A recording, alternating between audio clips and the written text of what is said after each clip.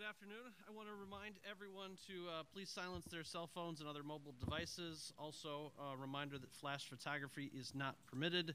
Video recording is also not permitted, and anyone looking for video, please visit the distribution site in the back of the room. Media reminded that uh, a microphone is around the room in different spots. Please um, request it. I'll make sure one gets your way.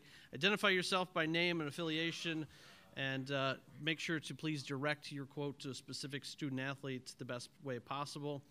You can find transcripts of these press conferences at ncaa.com/transcripts. Press conferences will also be available via satellite feed at the following coordinates, which is Galaxy 17 transponder 19B. The downlink frequency is 12075.50H.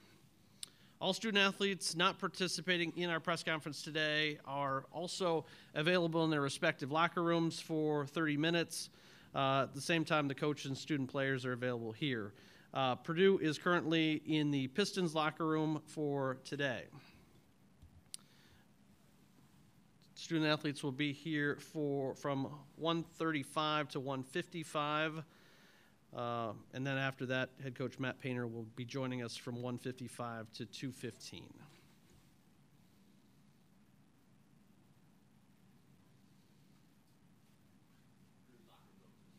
Purdue's locker room is now open to the media for the next 30 minutes.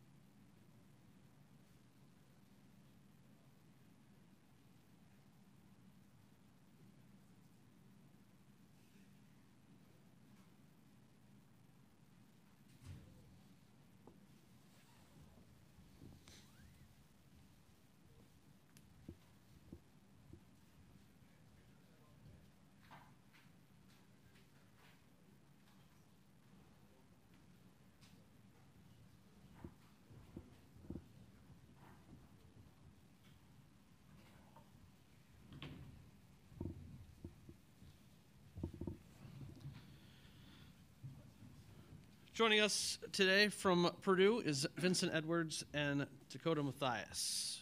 Uh, remember to ask for the microphone and uh, state your affiliation and name before asking a specific question. Questions for the student athletes?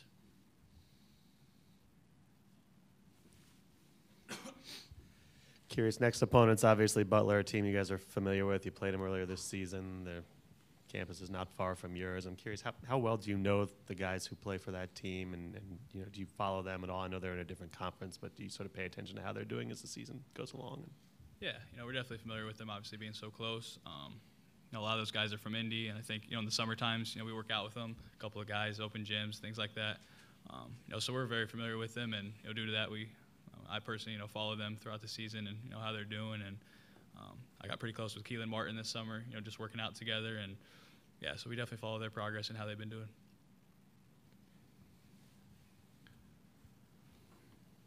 What was your guys' reaction to uh, Isaac being ruled out for the rest of the season with the elbow injury? How hard was that for you guys being seniors as well?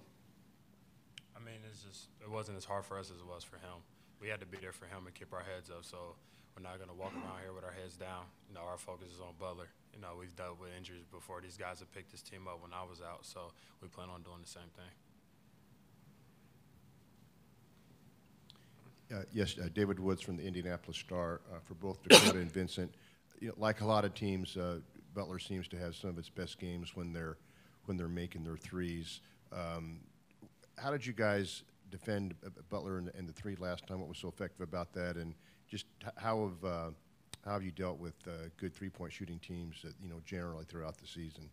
Yeah, you know, I think you know the first time we played them, especially in the first half, we were very active um, with our hands. I think we kind of disrupted the flow of their offense. We made things you know pretty tough for them. Um, and whenever you get out of a rhythm like that, it's tough, you know, to kind of rebound. So, um, like you said, you know, they're a great three-point shooting team. So just making them feel uncomfortable is going to be the biggest thing for us. I mean, yeah, I would say the same thing that he just says. We're really active in the first half, uh, and we were able to get a lot of the loose balls and get our hands, you know, in deflections and passing lanes and things like that. So when you can disrupt someone's rhythm and the flow of their offense, it makes it tough. Isaac came back in the game yesterday after the injury, and he was joking around. He seemed like he was in great spirits in the locker room. How big of a shock was that to everybody? And what did you say to him to try to lift him up? Yeah, I mean, obviously, know, we didn't expect that, um, those results. But um, you know, he's a tough kid. You know, he's battled a lot, and you know, we, we just wanted to let him know that we were there for him. Obviously, being a senior like that, it's tough to handle. But um, you know, he's our brother, he's our family, so we just wanted to let him know we were there for him. Yeah, just piggyback on the same thing. Uh, me and Isaac have had some, you know, some rough patches throughout our relationship and career, but definitely like a guy I've grown closer with. And just like these guys being that senior class and not being able to actually, you know, walk out on the court with him, knowing his senior year ended the way it did, it sucks for him. And um, you know, like I said, we're not going to hang our heads on it though. We're going to be there in spirits, and he's going to be our biggest cheerleader. So we're going to go out and play for him. Any additional questions for the student athletes? Did I, did I shout out Lil B? Oh, um, if Lil B is watching this, shout out to Lil B for uh, blessing us with his presence. Thank you, sir. Appreciate Yes, it. guys. Purdue locker room is uh, open until 2:06, uh, and head coach Matt Painter will be joining us momentarily.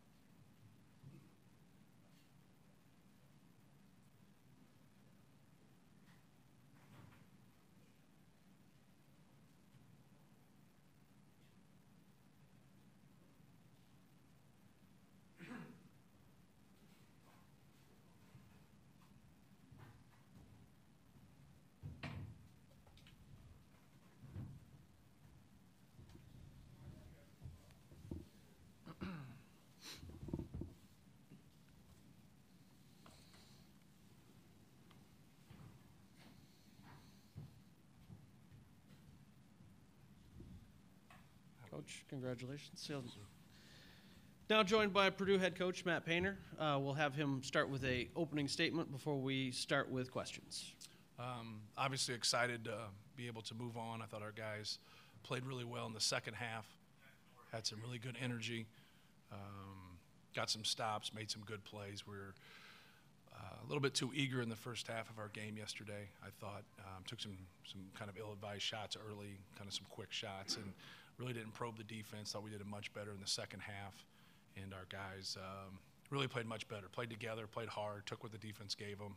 Um, got some quality stops. We know we have a tough test um, against Butler, and uh, they have a great program um, through the years. And LaVall's done an unbelievable job um, with this team. You know, Baldwin and Martin are, are very, very difficult to stop, but it's it's really more than them. They uh, out rebounded Arkansas yesterday by 20.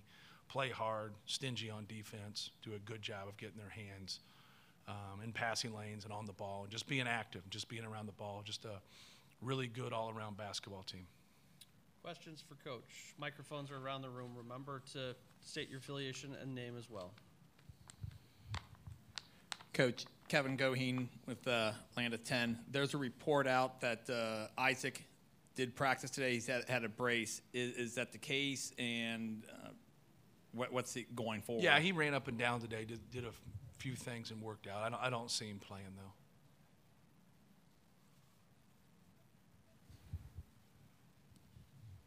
Uh, uh, David Woods from the Indianapolis Star. Butler, like really most college basketball teams, is, is much better when they're when they're making their threes, and and most of their, a lot of their big wins they were making threes.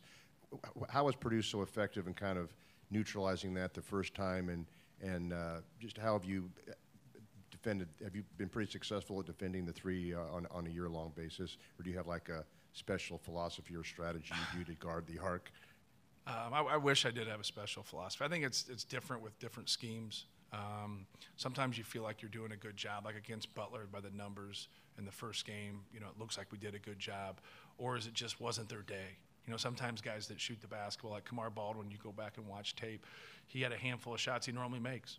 You know, and he didn't make it, so that you know that helps us. You go watch him against Seton Hall in the Big East tournament, and they're just draped all over him, and he just makes tough shots. And so sometimes it's just your day. I think that day, you know, was ours. But we try to, you know, to do a good job of uh, guarding the arc, but also not exposing ourselves to where now we're not containing the dribble, and they're getting to the free throw line, getting easy twos. Because sometimes guarding the arc means they get by you. And now they still penetrate and pitch and still get a good three. So um, they, they have some tough matchups for everybody. So it's going to be really important for us um, that we do a good job and stay out of rotations. Matt, back to Isaac for a second. After the game yesterday, he was joking around in the locker room, seemed to be in great spirits, and then the rumor was it was mandatory surgery, and now he's back. Can you talk about the emotional roller coaster of the last 24 hours? And if he's not able to play tomorrow, is it your understanding that this condition could get better at some point during the tournament? No, he's not going to, you know, he- he's fractured his elbow. So he, he can go out there and, and get in warm ups and do things, but I, I don't think he's going to play. Um, I'm obviously not a doctor, but I've been able to look at it and see that. Um, so he just went through things today and just, you know, getting loose and everything. His, his legs aren't broke, so you're allowed to still run when your elbow's fractured. As far as you as a coach and handling the emotional swings of Yeah. this with your team and this senior class, can you talk about what that's been like? Yeah, it's not an emotional swing for us. You know, we, we just prepare for Butler. And so when Vince Edwards went out, um, and we had to play two conference games, we won those games. And, you know, you focus on what you have. You don't focus on what you don't have. And it's no different than foul trouble. You know, Isaac plays half the game for us. You know, we're, we're used to playing half the game without him. So now we just got to play a full game without him. Greg Joyce from the New York Post. If Isaac can't go, what do you see from Matt Haarms? That obviously he's played a good amount, but Right. stepping into that starter role, uh, what do you see from him that, that gives you that confidence he can and step in? Yeah, well, Matt's played the whole year. You know, he's done a good job for us. He played 27 minutes in the game versus Butler um, when we played earlier in the season. So, um, you know, he's long, he's athletic, he can run, he can block shots, he knows what's going on. Um, the game matters to him. So, um, it's a great opportunity for him to, to be able to step up and stay in his role. You know, be really good at being Matt Haarms. You don't have to be something else. And um, I think that's going to be important for, for us that he brings that energy and, and helps us get going on both ends of the court. Coach, not a lot of uh, international players end up at Purdue over the years. How did Matt end up on your radar, and how did he end up coming to uh, West Lafayette? Right. Well, he played at uh, Sunrise Christian, so just seeing him in AAU and then kind of following up, he was a little bit of a under the radar guy. You know, he wasn't um, a guy at, at, at, his high school that was you know averaging 20 and 15, and um, but he was really skinny, and so he's gained about 25 pounds since he's been at our place. But we were very fortunate. I think you hear a lot of stories as coaches when you recruit somebody for three years, and then you lose out you know, to somebody and you get upset about that. Say, we put in all this time and you put in no time and you get the player. Well, we were on the back end of that one to where we didn't recruit him for a long period of time. And then when we went into recruiting, he liked us. He knew everything about us. He watched us a lot um, on television, and uh, he knew everything about our program and the development of our big guys. And so it was one of those rare moments where the exposure that you're getting internationally and uh, just the exposure and the understanding that he had of the development of our bigs really helped us landing. Coach, how similar is this situation uh, with Isaac in, in terms of uh, 2010 with Robbie, and, and, what did you learn from then? Yeah, it's a good question. Um, you know, we still had three games in conference season when Rob tore his ACL, so we had three conference games, we had two tournament games, and then we obviously had three NCAA tournament games. So it gave us a little bit of time to prepare, and it's interesting you said that. I just watched one of our games in the NCAA tournament because it was on the Big Ten Network against um, Texas A&M to go to the Sweet 16. It, it, just makes you run some things differently. Rob made things work for us. Um, we don't run anything differently. Um, we run a lot of things for Isaac, but we also run things for other people. Whereas we ran a lot more motion at the time. We'd isolate JaJuan Johnson. We'd isolate um, E'Twaun Moore a lot in some ball screen action. Um, so we had to change some things. We, we had to change a lot. And uh, we didn't shoot the ball as well when Rob um, didn't play. And the guys that, that stepped in there who were good shooters still didn't shoot the ball well. So that's a big part of it. It kind of goes back to what David said before is like, you know, how good Butler is when they make their shots. And it's, it's kind of a profound statement. It's how good anybody is that relies on three pointers. And so I think that's going to be key more than anything. Just us running our stuff, sticking with it. But we had a lot of turnovers the first time against Butler, you know, with Isaac Haas you know, it's, it's going to be important that we play this game and not turn the basketball over and be able to rebound and just kind of focus on those things. I know you said it's unlikely, but is there a chance that Isaac would even dress tomorrow? I would think he dresses and goes to warm-ups. I would think he wants to do that to kind of, you know, stay connected and stuff, but I don't think he'll play. Is there a brace that he would have to wear? Yes. Okay. Yes. He'd have to get that approved.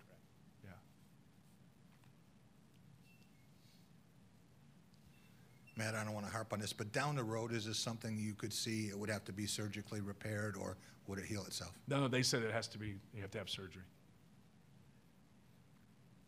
Any additional coach questions for Coach? Thank you for your time. All right, thank you. Next press conference will be Butler at 2:20 when their student athletes join us. Uh, Purdue's locker room still remains open until 2:06.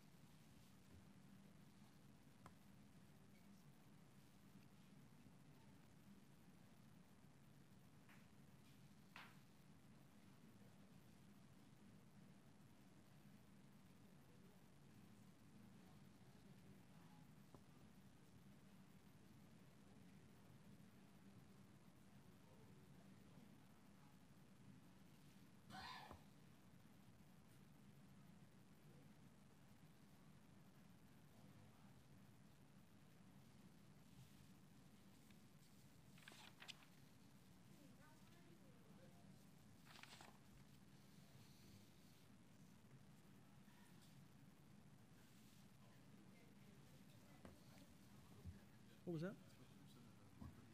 It, uh, I think so. Let me check.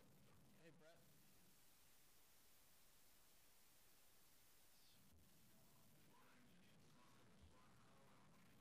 Butler's locker room is open. They are in the officials' locker room. Um, they're open for 30 minutes.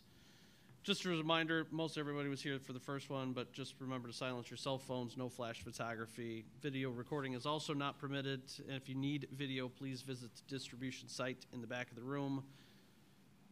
Joining us this morning will be uh, from Butler student athletes Kamar Baldwin, uh, Kelan Martin, and Tyler Wideman. Once they get here, we'll also then have questions for them for letting them go back to the locker room. Locker room will remain open after that for 30 for the remainder of the 30 minute window.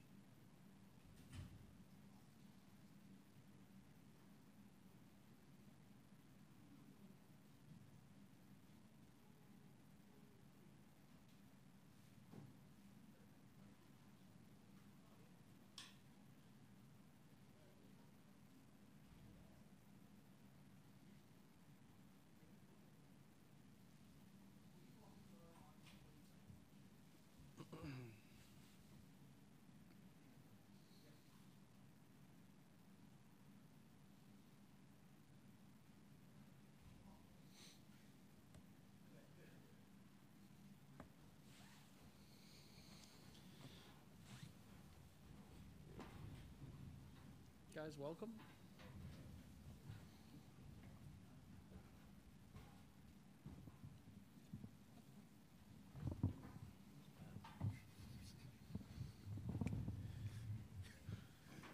We're joined this afternoon by the student athletes from Butler. We'll open it up for questions from the audience.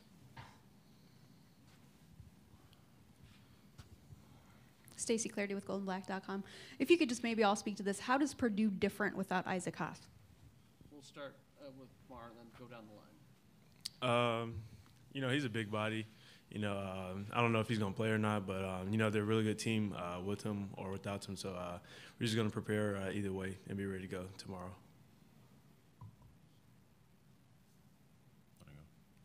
Um, yeah, pretty much what he said. They have another big guy also, so uh, he protects the rim. So there's just another big body out there for them.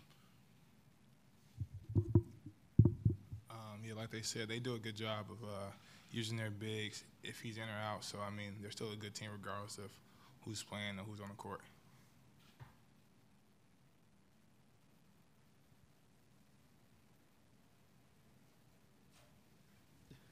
Go right ahead. Tyler, do you think it helps having the familiarity of playing, having played these guys already? I mean, sometimes in the NCAAs, you kind of hope you have that, you know, we haven't played you before, you haven't can't prepare like that, but it's different with this this matchup. Uh, yeah, I think it helps a little. Um, I think it helps the coaching staff with their uh, scouting, so they already have stuff on those guys. Um, but I mean, that was a long time ago, so I really don't remember too much from the game. But uh, I think any team you play at this point, you just know they're a good team and, and for a good game.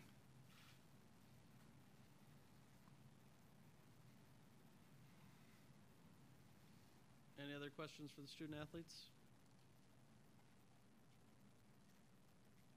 All right, guys. Locker room is open. We'll be joined by Butler's head coach in just a little bit.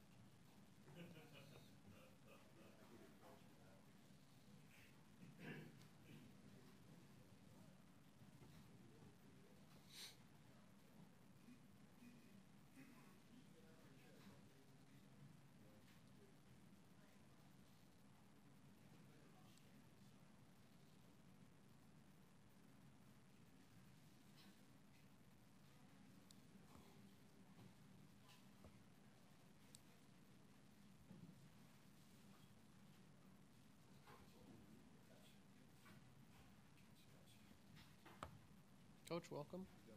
Great. We're now joined by Butler head coach LaVall Jordan. We'll open it up with a comment from him before we take questions from the media. And when we do, just remember to uh, open it up with your name and affiliation first. Um, thanks.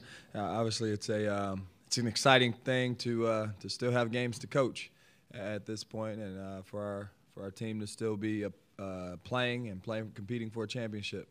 Uh, as you're watching games, I think you know one of the best parts of uh, this time of year is when you win and you kind of have the next day to watch others other games and knowing right, you're still going to play the day after. And so um, you know, our guys are excited and we've got a, a, a, tough task ahead of us with Purdue. I was, I was proud of how we competed yesterday, and you know, watching the film back, I thought we executed fairly well.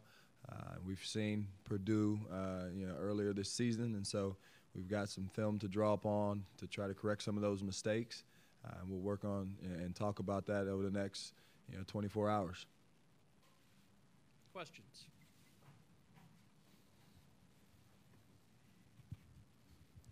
Terry Hutchens with CNHI Sports Indiana. Coach, so first talk about uh, uh, Carson Edwards and you know how his role has changed since the first time you played him, and then just what makes him such a difficult player to stop. Yeah, I don't know if his his role has changed. I think he's just um, his confidence has grown to such a high level uh, as you as you continue to watch him uh, develop.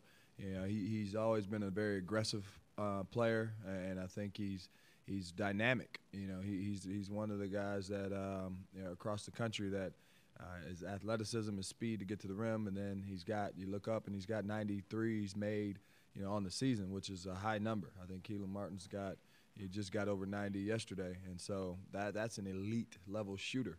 Uh, and they've got two of them, him and Dakota Mathias, and so. Um, you know they they move him around well. He's he's a he's a load in transition up the court. Uh, and then you know defensively, uh, you know their team is, is really good defensively, but he's got the ability to, to shoot some lanes and steal some passes. So uh, he causes some havoc on that in the floor as, as well.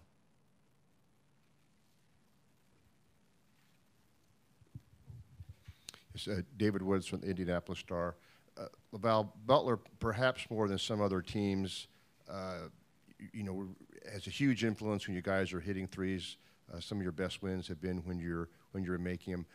What are the components that allows you to do that? Is it is it from uh, is it from scheme? Is it from what the opposition gives you? Is it how you're defending? I mean, what are kind of the how you're moving the ball? What are kind of the things, if you notice the theme through the season, allowing you to do that?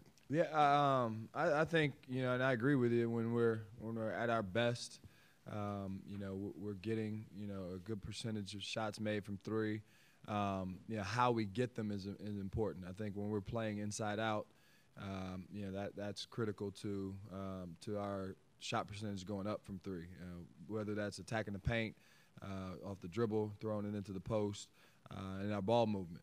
You know, early on in the year, it wasn't as crisp, it wasn't as fluid uh, as, it's, as it's gotten over the course of uh, this season. Uh, and we have to have that. And then I think the other the other formula for us, part of the formula for us is uh, transition and I thought we got pretty good looks in transition yesterday. We made them early. We had a spell kind of when they made their run where we missed a few, uh, and then we made a few big ones late. I know Key made a, Kelan made a big one off a of steal, you know, up the court late. And, so, um, you know, we can't get three ball dependent, uh, and, and, that's not who we are. But, you know, when we've got a good balance, you know, we're pretty good. Me if you've already answered this question, but a few weeks ago you put uh, Sean McDermott back into the uh, starting lineup. What have you seen in his play since coming back from the ankle injury, and how does having him in the starting lineup change the dynamics of the team? Yeah, you know, Shawnee, he had a terrific off season. Uh, I thought he prepared himself well to, to have a um, to have a big role this year. Uh, and then as we got into um, the start of the non-conference, you know, he came out really strong. Uh, he was shooting the ball really well from three. Uh, he was making plays offensively. He was a big part of it. Uh, and then defensively, you know, he, he's got length uh, and he's got an IQ. And so uh, after he was injured, we went small with three guards, and uh, it was really good for us offensively as well. But we, you know, we were smaller at position. Um, and I think the Providence game was when Sean came back into the starting lineup. Uh, and they're six six, six seven, six eight everywhere.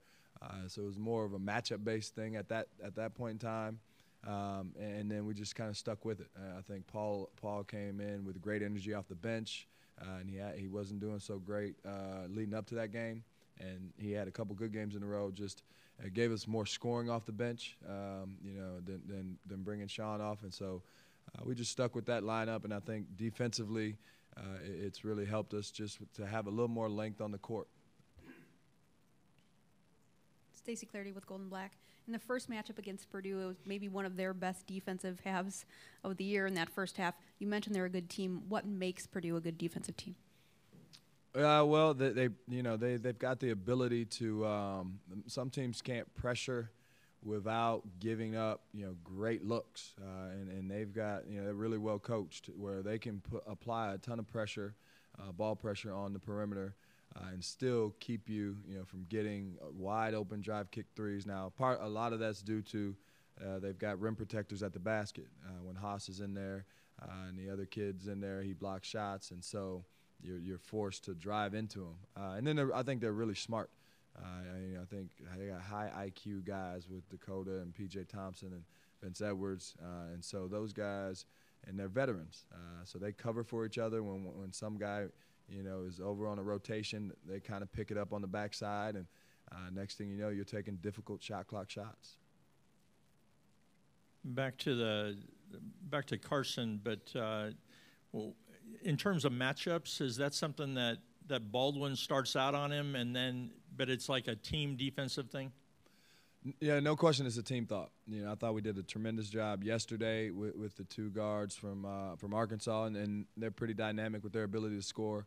Um, you know, Aaron and Aaron and Kamar took on the bulk of the assignment, but it, there was a team thought to it because you, if you're going to sit there and guard, you know, Carson Edwards one on one, good luck. Um, he, he's too good for that, and you know, but you can't over overhelp. I think that's the challenge with them. They're 40% from three at multiple positions, and so you can't overcommit uh, two guys onto the ball, but you have to be there because if he's just looking at one defender, uh, he can attack one guy, and he's really good at that. Tom Davis, Fort Wayne News Sentinel. Coach, um, the narrative is they'll just replace Haas with Matt Haarms or maybe the 6'10 Taylor kid. But what if they go small with Vince at the five and move Nojel into the lineup? What defensive challenges does that present if they go small and they have five guys that can sp- spread the floor and shoot and drive and handle and all that? Yeah, I think that's a uh, you know you got to think that way. If if Haas is not available for certain, um, and I think um, probably Creighton would be the best reference point for us. Uh, Providence has done that in our league where they play uh, Bullock and just go small. Um, and the decision you have to make on, on our side is, you know, are you going to match it or you're going to try to play advantage basketball with, with your post? Um, and we had to do some of that in the Creighton game, uh, so we've got something to draw on there. Uh, and that's kind of a game time. I think we've got to prep for all of it uh, and make make a game time call, you know, as you're in the moment and see what's best if, if they do do that, um, how you're going to counter. Stacy Clardie going back. How are you a different team than the first time you played these guys? Yeah, I think we are. Uh, I think that's a it's a great uh, observation. You know, I think we, we are a lot more fluid offensively. Um, you know, at that point in time, uh, it, it, was pretty choppy, uh, and that was one of our worst games. Now, a lot of that was due to to Purdue's defense, um, and, and, then I think defensively we've gotten a lot st- stronger, a lot more solid, a lot more aware uh, a lot more connected on that end of the court, uh, where we've had, you know, from from that point on, once we got in the Big East play, um, we've had some really solid defensive performances, uh, and guys have good clarity, you know, a lot more clarity at this point. I think Kamar Baldwin specifically. Um, during that time, he was transitioning uh, and kind of learning, you know, on the fly. Where um, you look at him last night, uh, he's got a really good command of the court. Um, he knows what he's looking for. Uh, and that was due to us simplifying some things for him. You know, I was probably overcoaching at that point, uh, and then him, you know, studying and, and growing and developing. Any other additional questions for Coach? Thank you for your time. Thank you. Our next press conference will start at 3:10. It will be Michigan State. At that time, their locker room will also be open.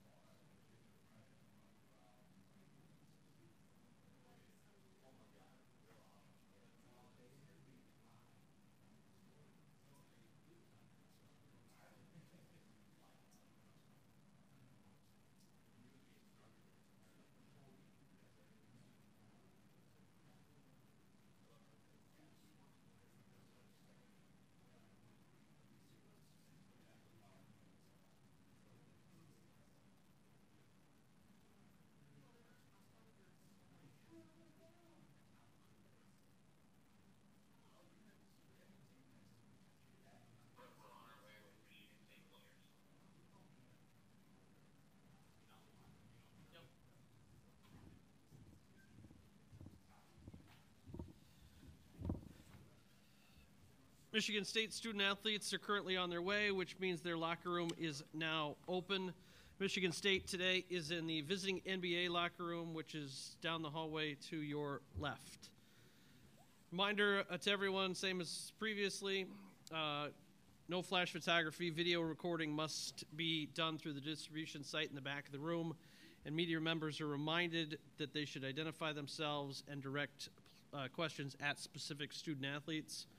You can also continue to find these uh, transcripts at ncaa.com slash transcripts, or we'll send them out at the conclusion of uh, these press conferences as well.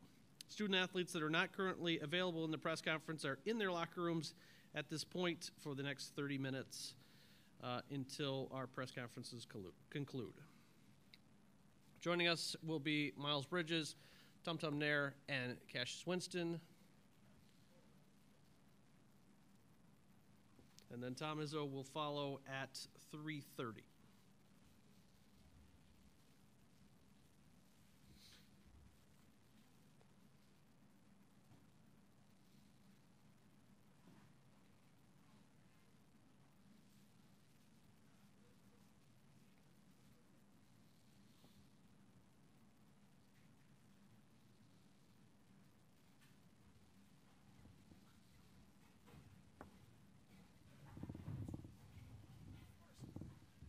Welcome.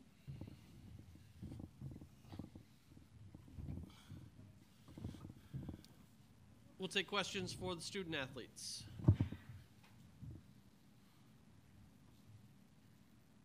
Larry?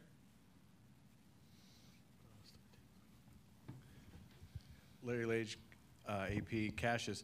How do you try to um, discipline yourself to go for singles? You talked about last night, you know, you like to go for home runs. How do you try to, as the games get bigger, settle for singles or be okay with singles? Uh, you just got you got to keep it in your mind. You know, you got to focus on that a lot of times. So you know, sometimes you let the game get to you, so you, you think there's something that you can make a play. So if you if I just keep it in the back of my mind and focus on it, you know, make the easy play, make the simple play, then that problem will be fixed.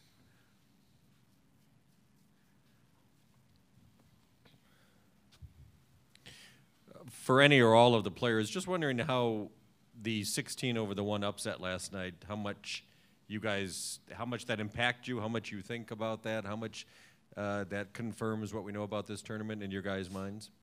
I think it confirms a lot about what goes on in this tournament. You know, just anybody can get beat. You know, and uh, you just got to focus in it to make sure we do all we can to execute our game plan. Uh, I would say that's why they call it March Madness. Um, every team here is good. Um, and you can't take any plays off. Vedant Gupta, applying for Sports Illustrated for Kids. I'm dressed like I am today because I'm proud of who I am and where I'm from. Each one of you, what are you guys proud of for who you are, where you're from, and about this team? That's a good question. Uh, you know, I believe I believe I'm from the greatest city in the world. You know, Detroit. Uh, I'm very proud of it. You know, I wouldn't trade that for anything. Uh, it's a tough place, and it's a lot of love and support. Everybody there wants to see you succeed. So, I'm very proud of that. And I think this team is the same way. You know, we're all together. We all want to see each other play at their, their very best and see each other succeed. Uh, I'm very proud of where I'm from. Um, I wouldn't be the man I am today if I wasn't from Flint. Um, they instilled a lot of toughness in me. Um, it made me mentally ready for college. Um, I'm also proud of where I'm from. You know, just being a kid from Nassau, Bahamas. You know, um, moving to America when I was 13 years old, 10 years ago. Um, you know, like Miles said, it made me into who I am today.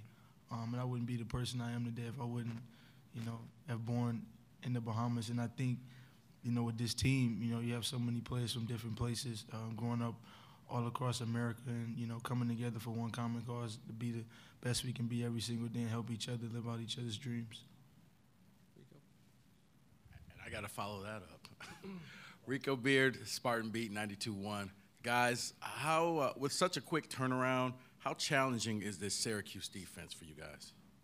Um, we, we struggled um, with zones in the past, um, but I feel like we move the ball better now. and We're more experienced with it. So if, if we don't let them speed us up, I think we'll be fine. Uh, yeah, that, uh, it's, it's a long, it's probably the longest zone. You know, you're probably gonna play. Uh, So if we we got to do a great job of limiting turnovers, can't let them let them get turnovers. Yeah, got to keep the ball moving, make make smart plays.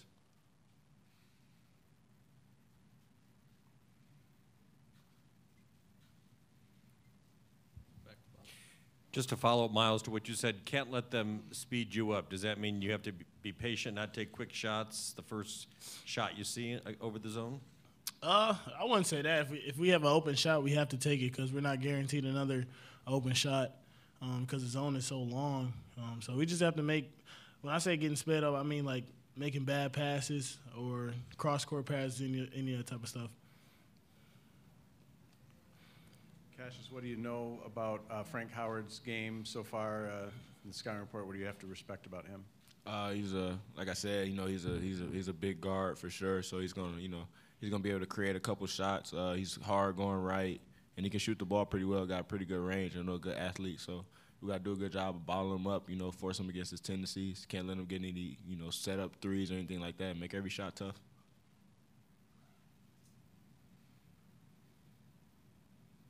Any additional questions for the student athletes? This one's for Cassius. What is the unique responsibilities for the point guard going up against a zone like this? What is your main priority? Uh, just to make sure our, our, team doesn't, you know, get impatient. You know, make sure we're playing with a lot of confidence. You know, it's it's gonna be times, you know, a zone like that can be frustrating. So I got to do a good job just keeping everybody together, keep our heads together. You know, and we're gonna we're gonna do a good job of moving the ball and getting quality shots. like everyone said, the uh, Syracuse defense is tight. Anything you're gonna do, like get out um, and start aggressive from the beginning. Uh, yeah, we're just gonna try to move the ball around, um, find open spots, find open shots. Um, just just don't let them settle in the zone because that's that's what really helps them. Jack Ebling from the Team 92-1 and Fox 47. Only one team smiling on April 2nd, but what's the lesson with what happened for Isaac Haas yesterday and Virginia last night that you carry forward the rest of the tournament? Oh man, it's it's. I think the lesson is you know you can't take any day for granted, man. Just you know even apart from basketball, you just if you if you live to see another day, you got to attack that day with everything you got. And uh, I'm just I'm praying for Isaac because I you know him being a senior, um, you know his last ride, his last go around with that team being a you know a very senior oriented team and you know, it, it sucks to see him go down. Um, and with this tournament, you if you're in this tournament, you just got to be thankful that you're in it and, and, try to survive and advance. So I think, like I said in the beginning, it just helps you to have an appreciation for life in itself. Uh, yeah, definitely. Uh, like I, I was telling Miles the other day, you know, one one of these games are going to be our last games of the season. You know, whether it's a championship game or anything like that. So every every every opportunity you get to go out there, you know, it's one of those games could be your last. So you got to tackle that like you know it's the last chance you have. Dalton Schettler with the Spartan Sports Network. The bench has been such a strong point for you guys throughout the season. You go into this game against Syracuse where they have three guys that play at least 38 minutes per game, and the Orange have played three games in the last five days. Is the bench a huge X factor for you guys going into this one? Yeah, um, we would like to get in transition. Um, like I said, don't let them set up in that zone because that that consumes some of their tiredness. So we just want to move the ball around, get in transition, um, kind of get them tired or in foul trouble. Further questions for the student athletes? All right, guys. We'll dismiss Thank you back you. to locker room. Thank you. Locker room remains open for Michigan State. They again are in the visiting NBA locker room, and then uh, head coach Tom Izzo will be here at 3:30.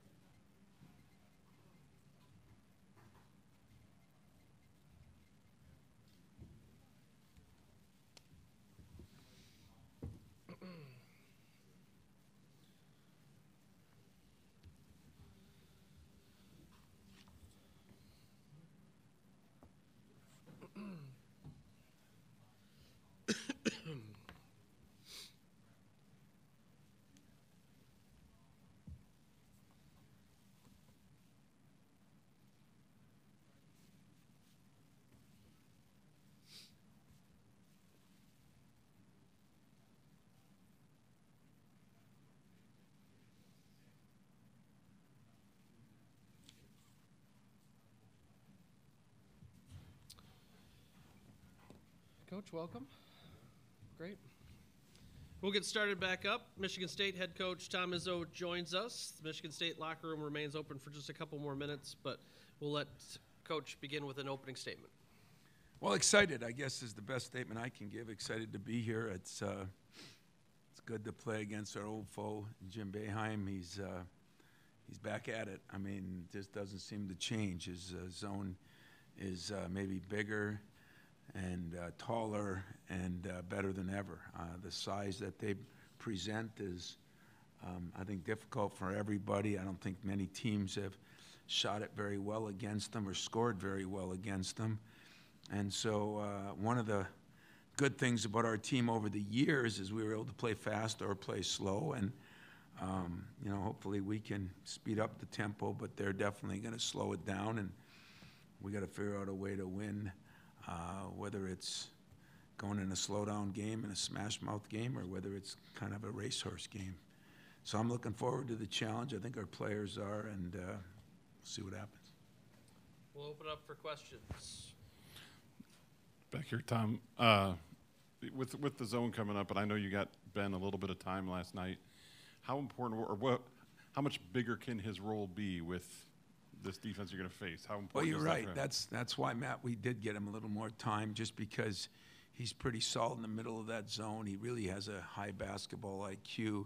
Uh, Xavier playing a little more has really helped uh, because he has a high basketball IQ. Um, so we feel we had different people that we can put in different positions, but. The zone is, is tough, man. I saw some pretty good teams watching all that tape I watched last night that struggled against it. I mean, it's it's hard to simulate it if you had a week to do it. It's almost impossible when you have a day to do it. And I guess that's why he's been so good in the tournament also.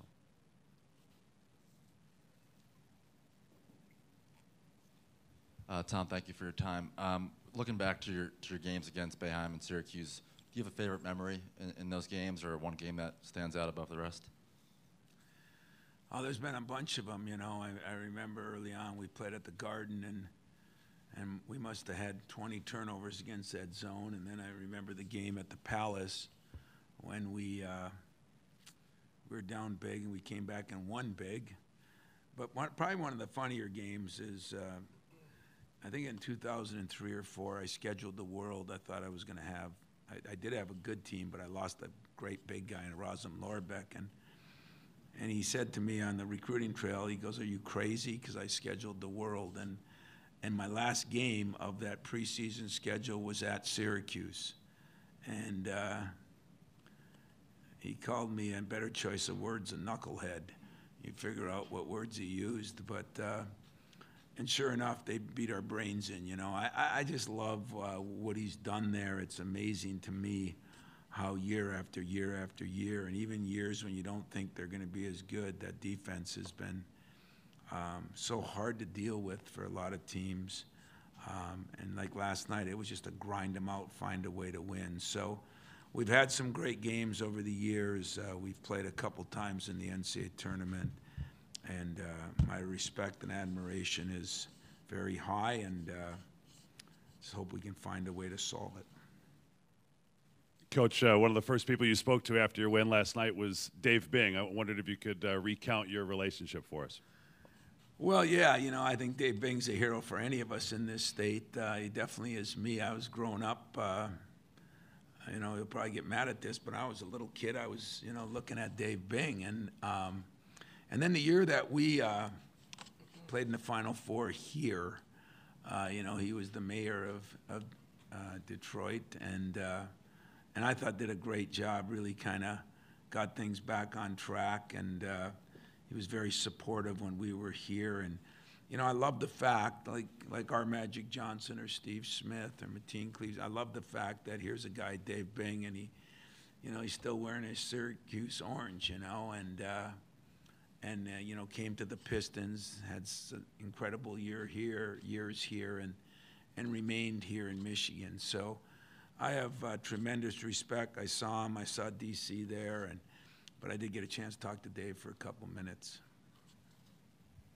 Mike Watersman, Syracuse Post Standard. Tom, last night after the Syracuse game, Jim Boeheim was talking about the Virginia UMBC result and talked about how this tournament will break your heart. Uh, you've been through some of these games as well as a high seed. What is that like for coaches and players on that end of an upset? You know, I watched Tony Bennett last night. In fact, I told my, I think our media during the week that, you know, I said it's going to happen.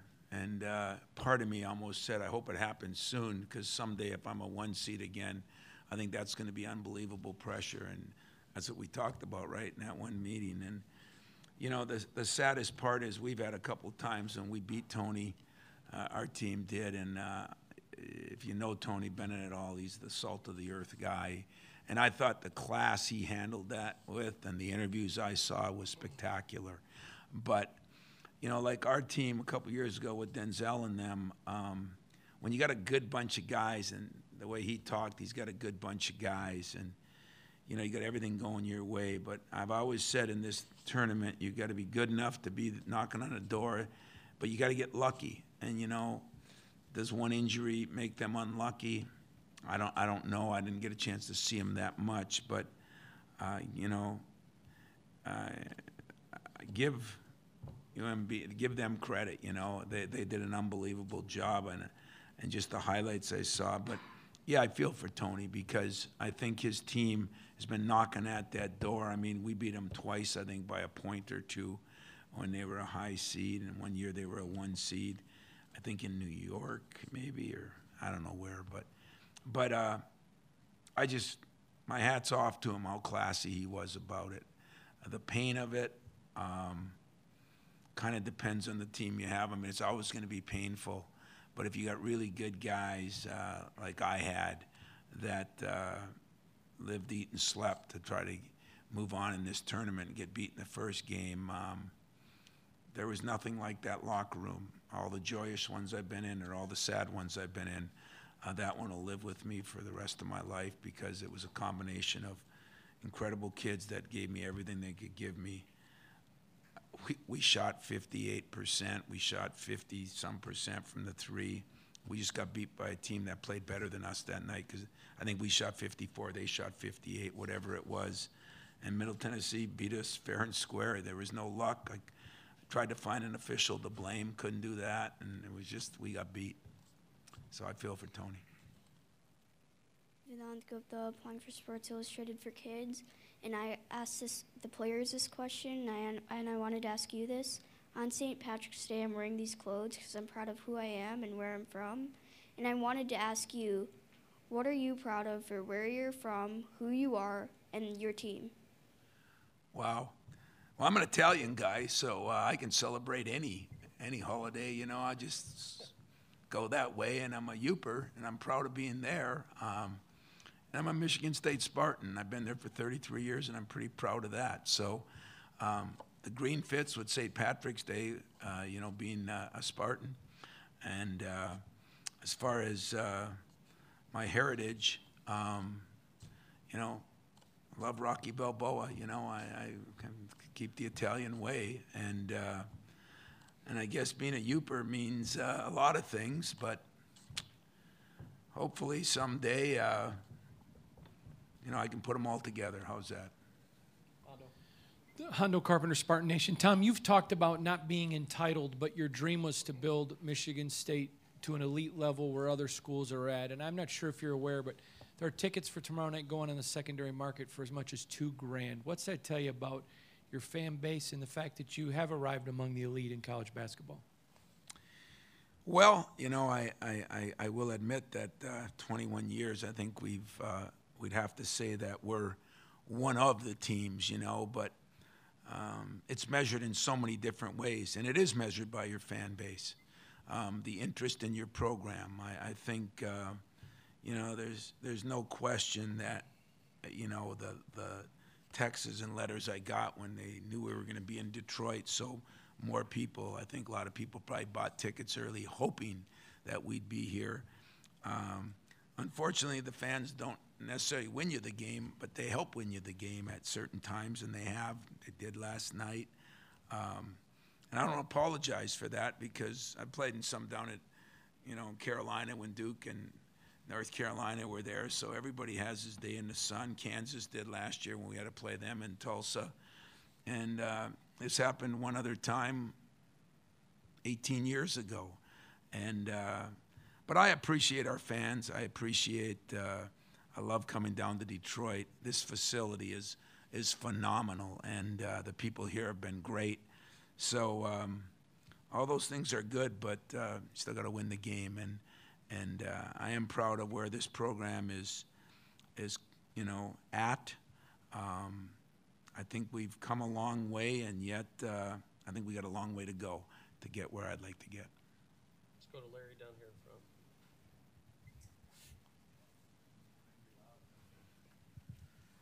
Tom, uh, how do you coach uh, Cassius to go for singles? He talked about last night he likes to go for home runs, and your thoughts on uh, um, Syracuse point guard that you have to go up against Frank Howard. Well, I, you know, I think Cassius last night he threw that one lob. You know, I didn't see what happened with Nick. All I saw is I thought it went off the other guy. I was complaining about that. I knew Nick was tough enough, and you know, I don't know. I think he was taking his time down there, and um, maybe he was a little tired. I don't know the way he bounced up. I, I said, Nick, were you faking that or what? You know, and and yet it was a it was a tough it was a tough hit that he took. I mean, if you look at it on film I guess we were lucky. But uh, and then the other one when he threw it, kind of we had Nick in and uh, Miles coming in. Um, hey, Cash is Cash, but he's improved so much, so much that I didn't even get upset with him on the on the lob to those guys. Uh, I just felt like he's had 10 assists and two turnovers and done some great things. And he's going to have his work cut out for him tomorrow, though, because Howard is a very good. He's big. He's athletic. Uh, this will be a great test for Cassius, and we're going to have to guard him with multiple guys, and uh, hopefully we can keep him in front of us. I think that'll be the big key to the game. Tom, uh, Chris Carlson from uh, Syracuse.com. Sorry. Um, I know I read earlier um, in the year that you wanted your team to be more physical. Um, how would you assess kind of where they're at now? Because they, they certainly look like they've found the weight room. Well, you know, last night was a was a night when um, I thought that that game got a little crazy, you know, a little chippy, and uh, bothered me for a while. And then I just said in the huddle, you know, maybe we need this. You know, it's it's about time we we're not as physical as most of my teams. We're physically strong. We don't always play as physical. And last night, you know, and Miles was a big part of that. I think he did a a great job of being more aggressive and assertive, and I think everybody else kind of followed around him. But we'll see because there's some trees we're going to play against tomorrow. I mean, it is the biggest team. I sat behind the bench for a while, and I sure as hell wouldn't want to coach that team. I'd be looking up all day long. I'd probably have a broken neck by the time the game was over. I never seen uh, such size, but uh, we're also looking forward to it. Playing to 10, what was Josh doing last night that allowed him to have such a big game? And, and what, what kind of growth have you seen from him over this season? You know, Josh went from a great offensive player to a phenomenal defensive player. And I think last week, that week off we had, you know, we talked about he's, he's such a good mid range shooter. But when he does, he's always kind of kicking his feet and off balance. And so we really worked hard on getting him to be straight up and down and get, get him to look for those threes a little bit more. He's a good shooter, but if, if you're not thinking threes, if you're always thinking driving, you got to think shot first and drive second, if you ask me. And I think that's what he did a better job. He just looked so much more comfortable, and and uh, and yet he did an unbelievable job defensively. I mean, that was the first night when I recruited him. I thought he could be the next Gary Harris, and last night was the first night when I saw it on both ends. He was very good defensively, very good offensively, and uh, Josh is going to be a hell of a player. He's he's coming along great, and he's improved a lot since the beginning of the year, more defensively than offensively, and now he's starting to catch up with his offense, and couldn't come at a better time. Tom Chris Solari, Detroit Free Press. Can you talk a little bit about the differences between Syracuse's zone versus Duke's that you faced earlier, and just what you saw in the ball movement yesterday that could help or needs to be a little different against the zone? Yeah, you know, I mean, Syracuse's zone is different than anybody's in the world. I mean, they just, uh, you know, Duke plays a pretty good zone, but it's, you know, I think Mike would be the first to admit that that's not his normal defense. I mean, Jim doesn't come out of a zone no matter what. I mean, I, he's played more zone defense than than I've played man, and uh, we play a lot of man. So um, it's a system, it's a culture there. To be honest with you, I mean, you go there and you just you're going to fit into that culture. He recruits to it, um, he believes in it, he sells it, and he does a hell of a job coaching it. And uh, so it's something that most people don't see. It's a little wider.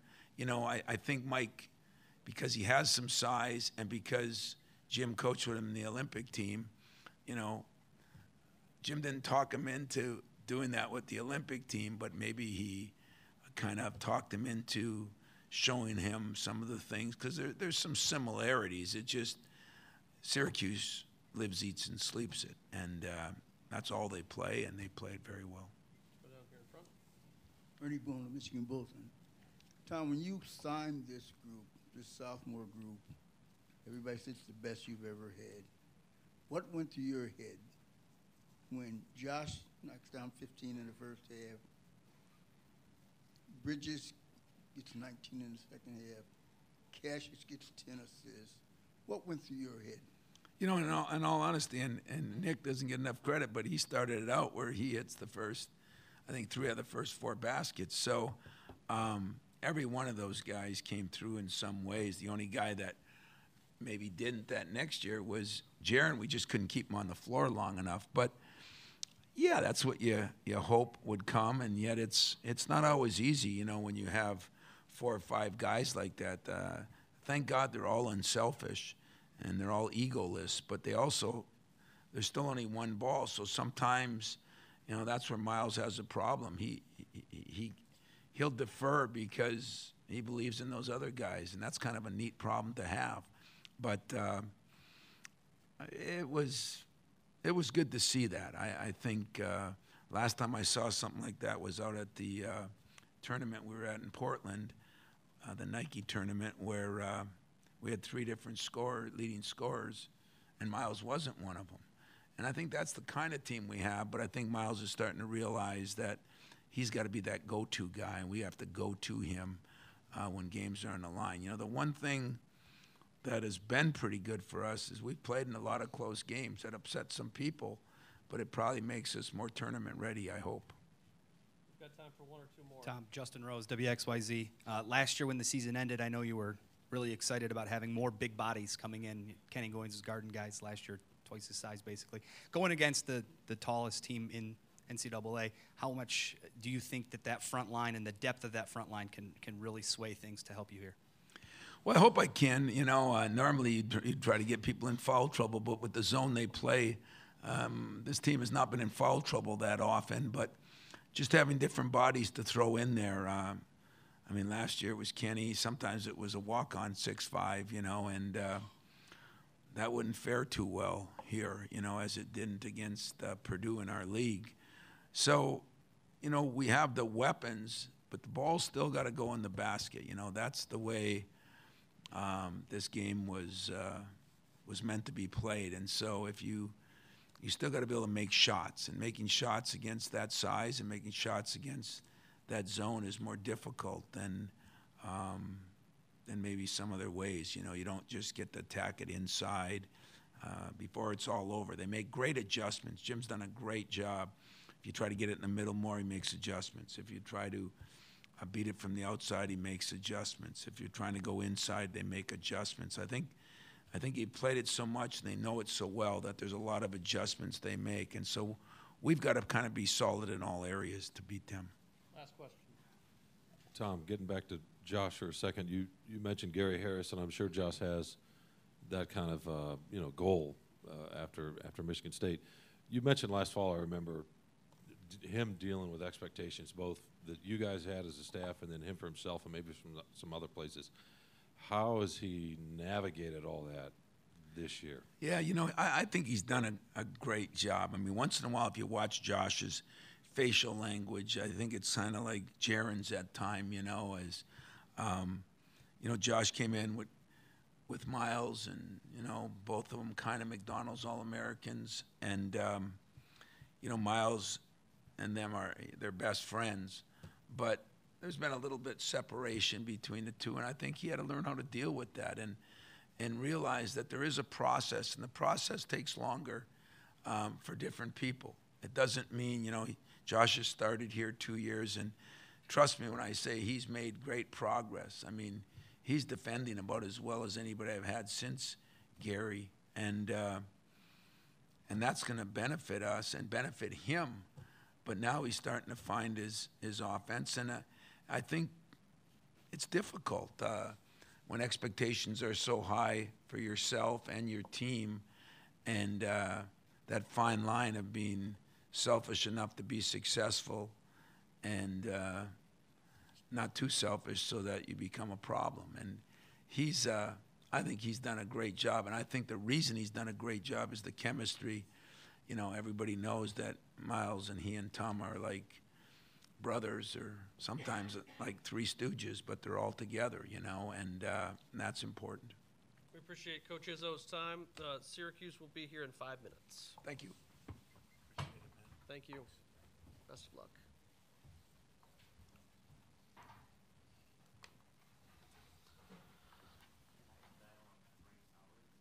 Okay. To there.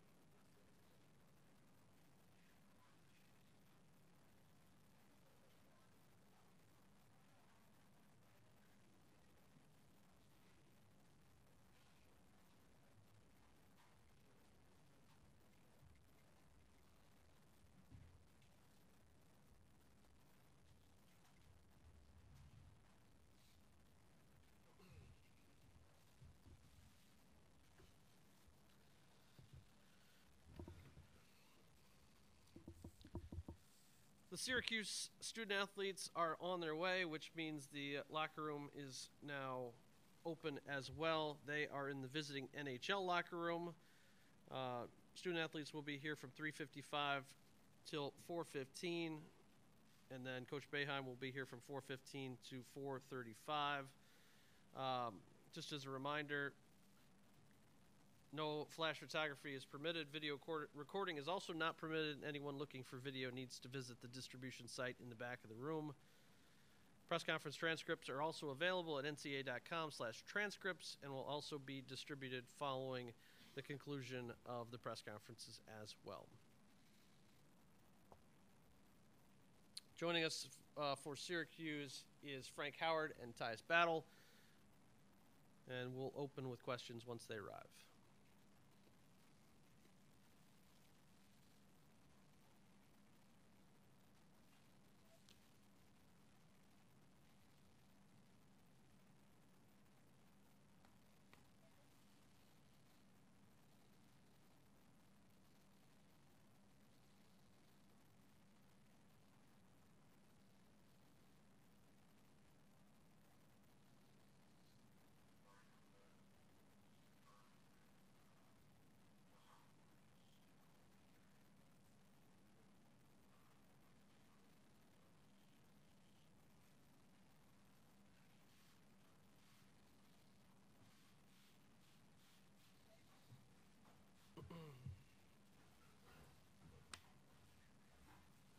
Guys, welcome.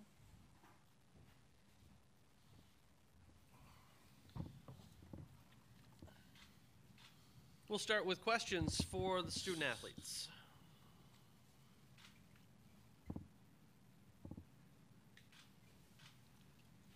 Question for Tyus. Uh, my name is Casey Harrison with the State News. Uh, seeing what Michigan State was able to do yesterday, you know, go up big against the Bucknell team, um, you know, what do you really know about them, and how? What is the best way to to take a defensive standpoint and stop them?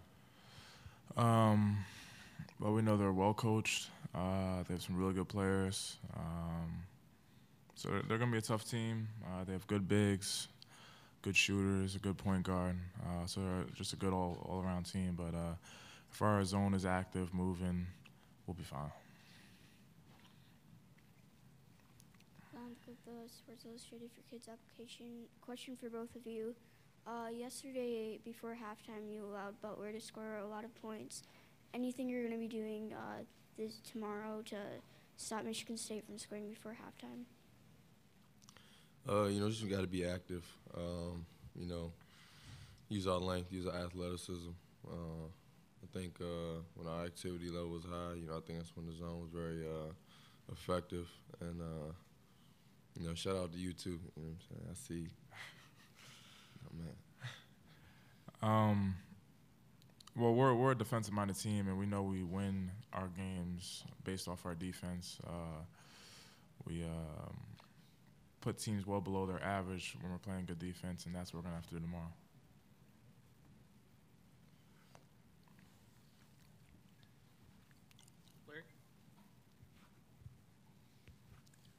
Larry Leach, Associated Press question for Frank. How do you see your role, like what, when you're doing your job for Syracuse, what are you doing? Um, and then what is your thoughts so far on Cassius Winston with what you've seen from Michigan State's point guard? Uh, I think my role is, uh, you know, to first lead the team, uh, be a leader first, uh, you know, command the offense, you know, kind of be the spark on defense as well. Um, you know, kind of do whatever I need to do to, to uh, you know, help us get the win. You know, some games I have to score the ball more, or you know, some games I have to facilitate more. So uh, I just try to do whatever it takes uh, to get the win. And uh, you know, I know um, Michigan State they have a, a lot of great guards, and uh, you know, we just got to keep them out the lane. You know, use our length to our, uh, our advantage, and uh, you know, just be active. Casey Harrison, State News. For both of you, with the the two games that you've played during this week, i- is there any kind of fatigue or uh, mental wall, physical wall that you hit? You know, going to to Dayton to play Arizona State and then playing TCU. Um, I, don't- I don't think so. Um, we're a mentally tough team. Uh, we're used to playing a lot of minutes, and we're used to battling the entire game. So uh, uh, I, I don't think there's any fatigue. Yeah, uh, I think at this point in the year, I think uh, you know we're kind of used to it. Kind of routine. Um, you know, just got to take care of our body. Uh, you know, uh, this is what we wanted all year. You know, we want to be in this position. Uh, you know, we're happy to be here. You know, we're just ready to attack.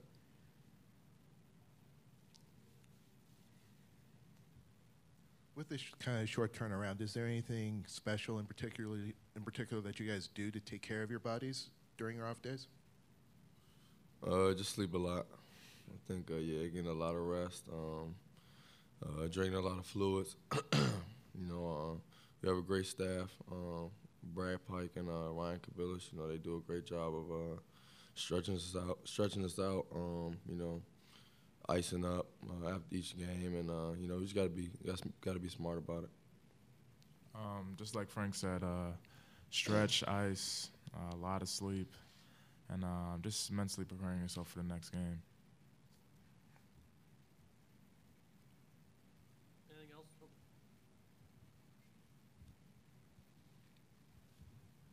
Just wondering for since obviously your guys' zone is unique, do you find opposing teams early on sometimes get frustrated, or do you kind of wear them down frustration-wise over the course of a game?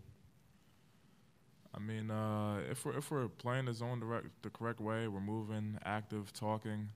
Uh, we definitely frustrate a lot of teams because we're just so long, athletic. Uh, we have shot blockers down low, and uh, when you finally get that open shot, you start second guessing it because you haven't gotten a shot, open shot the whole game. So uh, it, it, makes things tough on the opposing uh, team. You guys will be playing a team that last night played 11 different guys. You guys play usually the whole game. I'm curious if you've thought at all about how that might affect the way that the game plays out, and if you think that helps or hurts you. Uh, I think every team is uh, comfortable with, uh, you know, at this point in the year, with, with what they do. You know, um, we we go seven deep, so uh, you know we're used to playing minutes. You know, the the other team making subs is, uh, you know, nothing but a personnel issue for us. So you know, we just pay attention to who comes in the game and you know uh, what they do on both ends of the floor. But uh, you know, for us, you know, we just got to stay focused on our task. Uh, you know, get some good movement on offense. Uh, try to get some penetration and uh, you know just be active on defense. Uh, do you guys think that playing the zone helps you guys stay fresh in this sort of a compacted schedule? Shoot, uh, nah.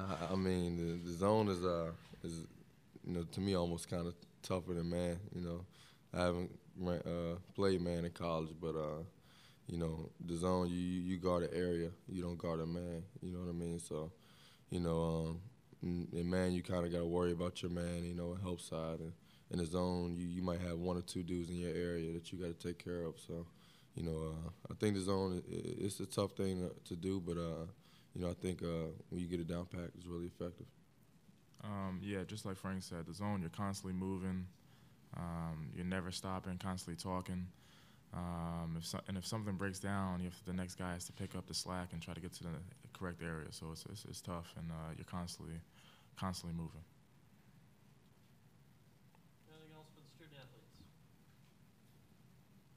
Guys, thank you for your time. Coach Boeheim will be here at 4:15. Syracuse locker room remains open for just a little bit longer.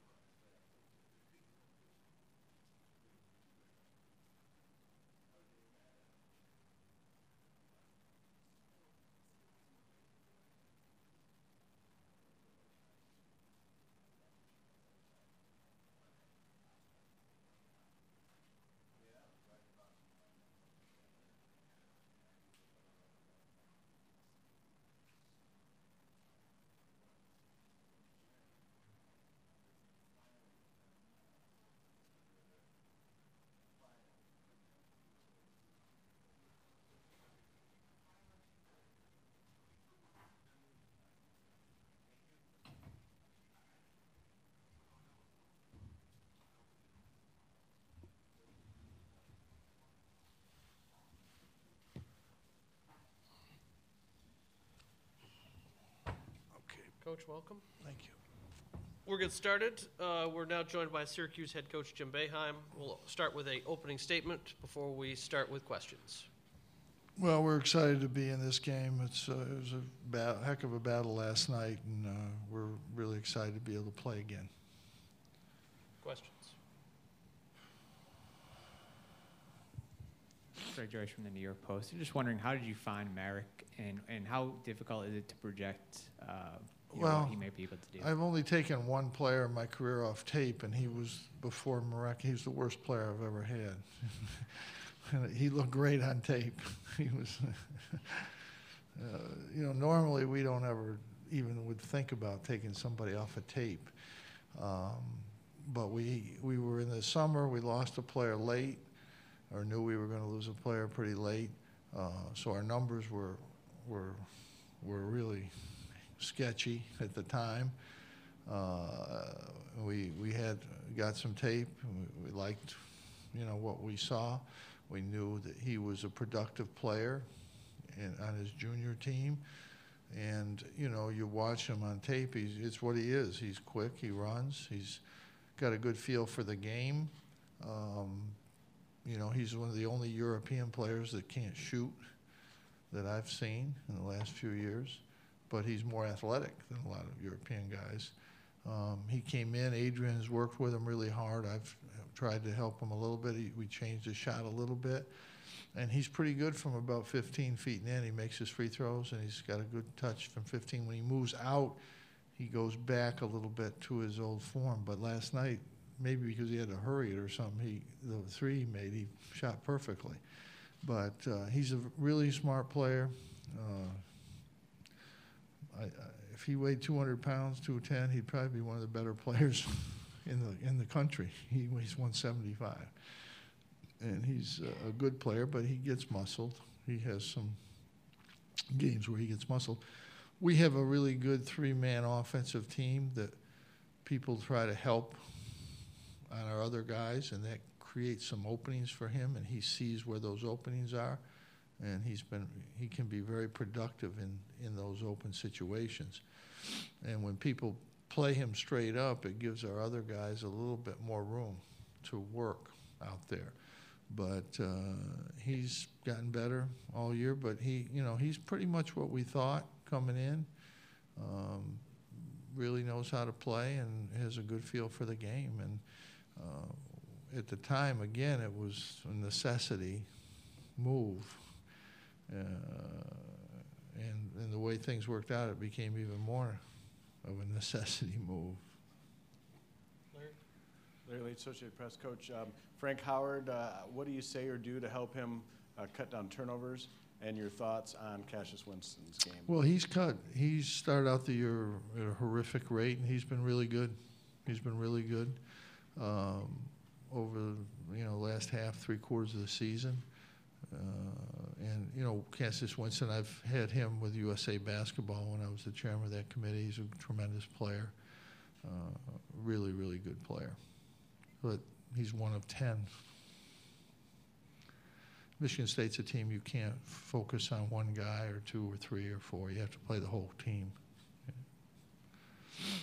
Jim, uh, could you please share some memories of when you coached against Jaren Jackson Sr., and then maybe your thoughts on his son, who you're going to be seeing tomorrow? Yeah, you know, he was a really, really good player at Georgetown.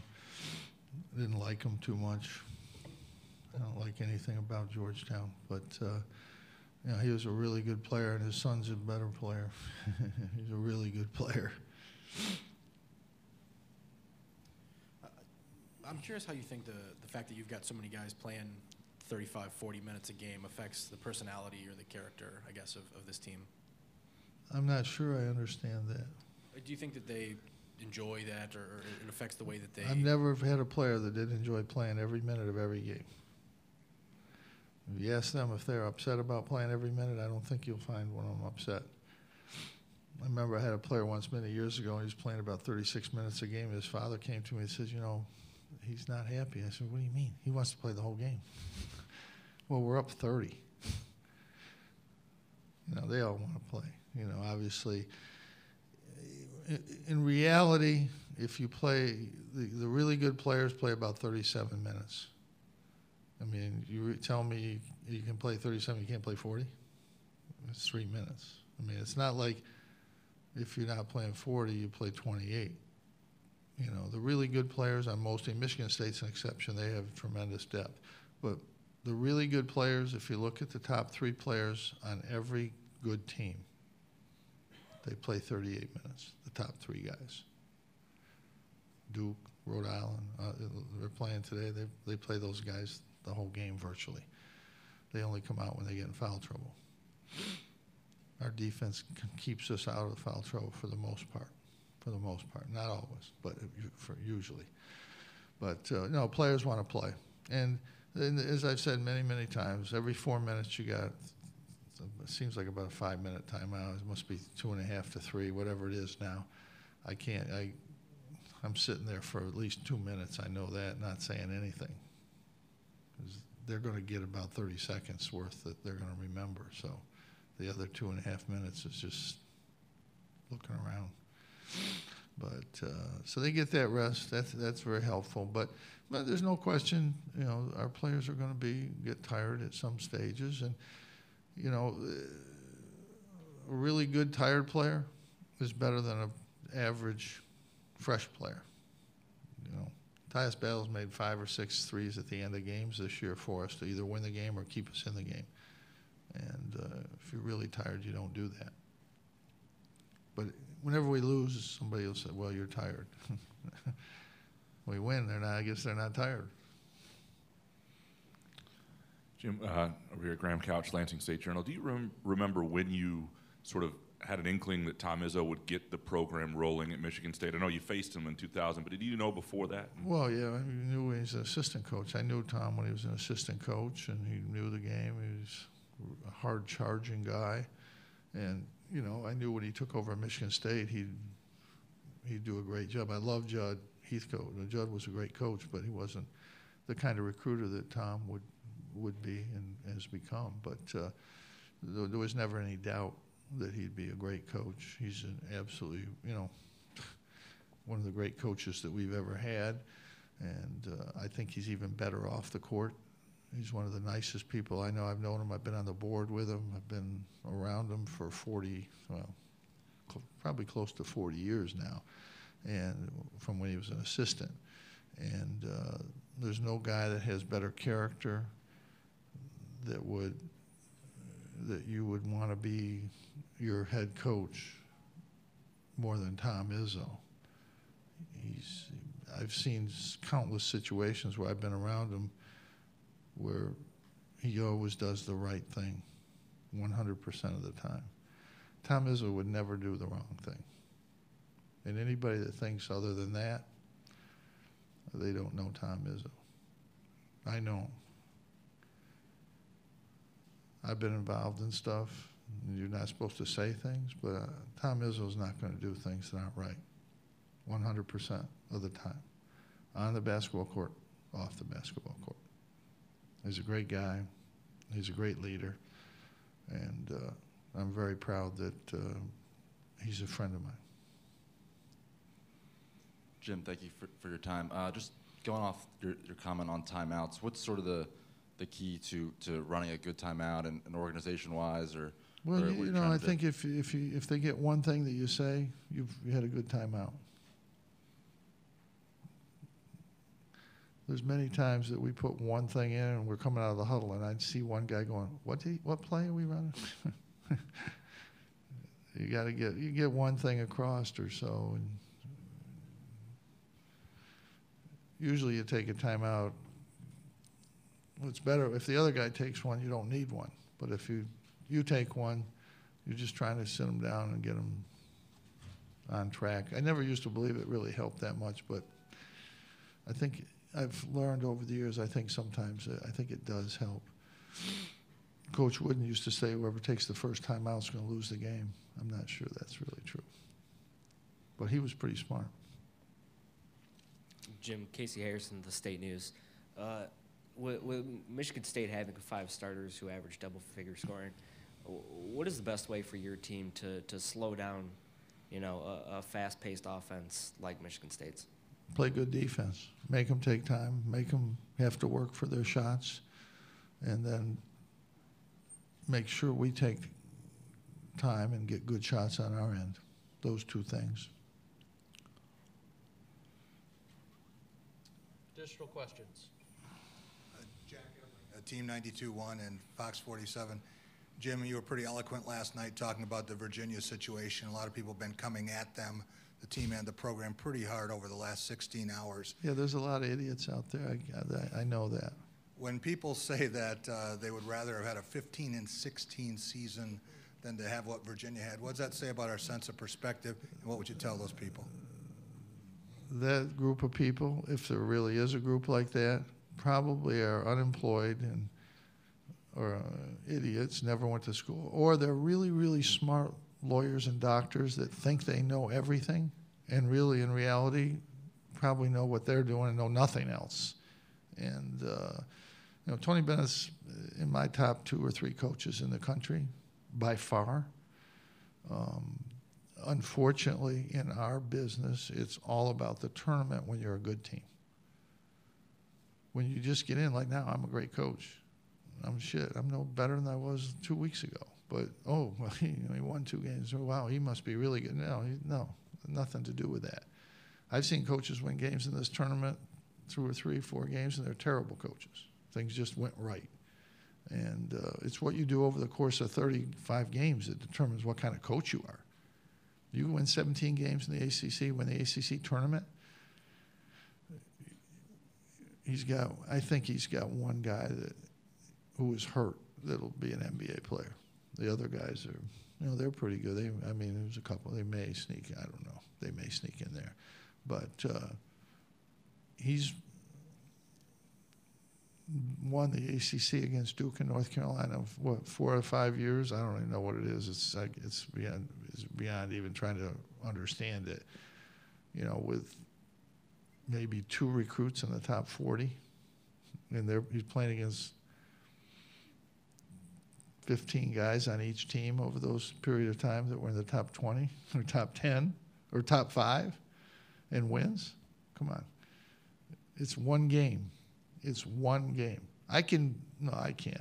But a reasonably good player on the pro tour can beat Tiger Woods in one game, one 18 hole round.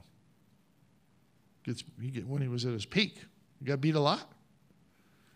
This is college basketball. I saw the Spurs get beaten their first game of the playoffs one year. They won the championship. Golden State, I think, got beaten their first game. They won the championship. I mean, it's it's a one and done. You're off your game a little bit, um, you know, and, and and this it's not that they're like people will say, well, they're just good in the regular season. They're not good. That that's just stupid. That's just stupid. They've you look at every year they've lost, and I'm not going to recite the whole thing, but I mean they beat lost to Michigan State in the Garden. Michigan State had a great team. I, I don't remember all the other ones, but I mean, you play in this tournament, you're going to get beat. Pittsburgh, they didn't like their coach because he didn't win the tournament. They're doing really good now, aren't they, in Pittsburgh? I know all those people were yelling too. They wanted him out. they pay this guy about ten million dollars, and then, or which they're trying to renege on, which is great for a university to do, have a signed contract with a guy and then say, well, he yelled at his players. That's 350 coaches are going to get fired tomorrow for that. but uh, no, I mean, come on. You, the tournament is, you know, I've lost in this tournament. Everybody has. I looked at the list of bad losses and I couldn't believe we weren't even on it. They, they, yeah, but you know, Mike Krzyzewski's lost. I've lost. You know, Roy Williams has lost. Bill Self has lost. Uh, Dean Smith lost. Uh, there's nobody that hasn't lost. I think you could easily make the case that Tony Bennett's way overachieved in the regular season, and they play like they probably are in the tournament. You could possibly make that case. This year is a little aberration, obviously. That was a bit, but the other losses, you know, it's a it's a tough tournament, and uh, really good coaches, good teams get beat, You know, Tom Izzo's one of the best tournament coaches ever, and I sat there two years ago and watched Middle Tennessee beat him, and they played a perfect game. We beat Middle Tennessee the next game by 30. You know, I mean by 30. It's just basketball. We lost to Vermont, and the next day, Tom Izzo, next game, Tom Izzo beat Vermont by 20. It's just the game. It's a crazy game, and the tournament's a crazy thing. We all know that. We all say that, but then we don't follow through on that. If I could hire a coach in this country and I could get Tony Bennett, there'd be no second place. There'd be nobody in second place. Nobody. He's kicked our ass every time we played him, except we got lucky once. We've got time for a couple more. Just going back to Marek, how have you seen him adjust to a, living in a new country? Never mind the difficulties that come with adjusting to He Division seems to be doing pretty good. He's doing well in school. He's got a blonde cheerleader for a girlfriend. He's starting on a team in the 32 in the country. I guess he's doing okay. she drives him all over too. So I mean, that shit, it's almost should be illegal. Probably is. Um, Larry Leach from Associated Press. Coach, obviously Michigan State's going to have a ton of fans there, but you're going to have uh, Dave Bing and Derrick Coleman. Uh, Well, if I could play him, we'd have a shot. A really good shot. we had dinner with Dave and Derek the other night, and it was always great to see those guys. They're great guys, great people. Dave Bing was my roommate in college, and he taught me how to do a lot of things that have helped me in life. He's uh, really the most mature, uh, most well-rounded individual that I've ever been around in my life. He had a huge impact on me. I didn't. I was from Lyons, New York, 5,000 people. I didn't know who the Supremes were when I came into my room, and uh, he taught me an awful lot. Although the first day of practice, I thought I was pretty good, and I guarded him. He had 15 straight baskets against me. I called my mom, and I said, Mom, I don't know about this situation. My mom was pretty smart. She said, Well, wh- how about the other players? I said, Well, they're not that good. I said, Well, then you'll be okay. Got time for two more. Anand Gupta, playing for Sports Illustrated for Kids. Uh, happy St. Patrick's Day. I'm wearing these clothes today because I'm proud of who I am and where I'm from. And I wanted to know uh, what are you proud of for who you are, where you're from, and for your team?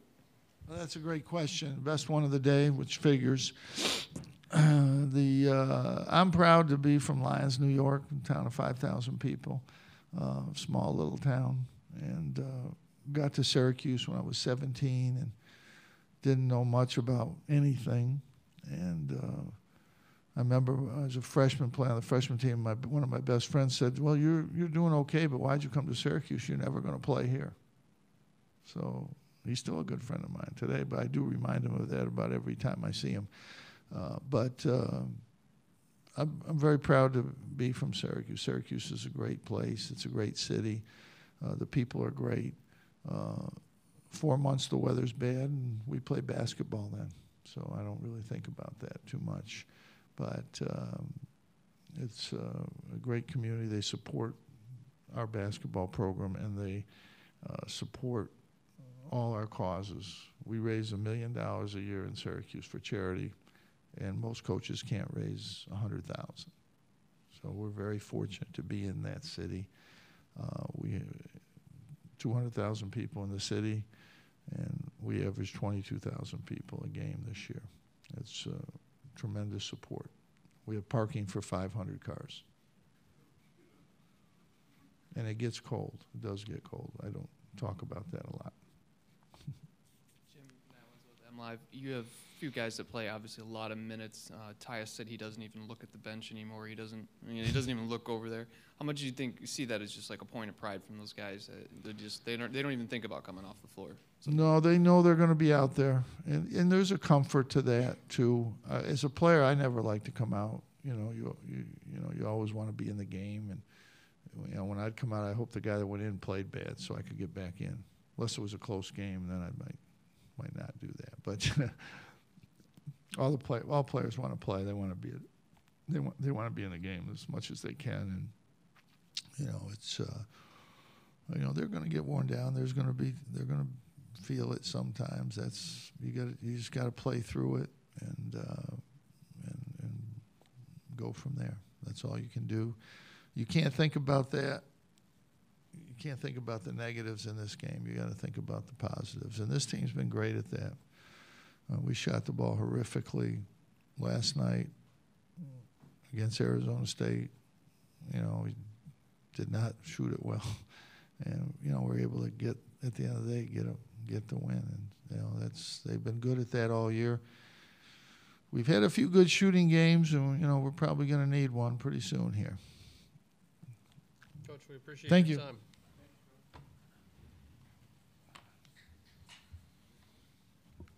That concludes our press conferences for today. Uh, transcripts will be sent out following this press conference as well, and you can find that on ncaa.com/transcripts and also be emailed out shortly.